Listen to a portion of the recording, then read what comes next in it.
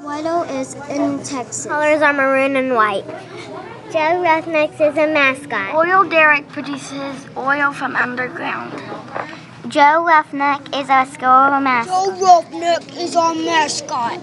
Maroon and white is our school color. Joe Roughneck is an oil, or, a oil field worker. Joe Roughneck is our mascot. Joe is our mascot. Uh, oil there is our country symbol.